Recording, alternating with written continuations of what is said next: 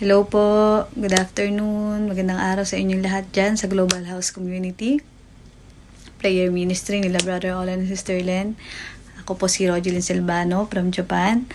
Um, salamat po. Thank you for inviting me, Sister Len and Brother Olan, para makasama sa uh, pagsamba at pag-awit sa ating Panginoon.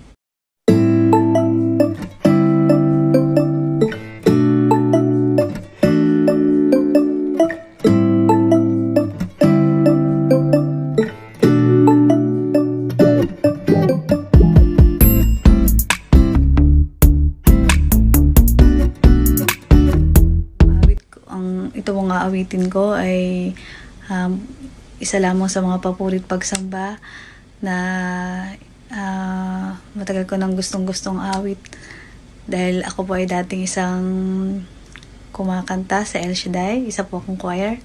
Kaya na-miss ko po talagang kumanta at minsan po ay madalas ko pong pinapakinggan itong kantang to lalo na pag ako'y ah, maraming problema at ah, may mga ah, dinaramdam. Kaya ito pong awit ko nito, i-share ko sa inyo para kayo po ay mabless din. Ah, thank you Lord for everything. Thank you Lord at ah, nandito pa rin kami Lord God.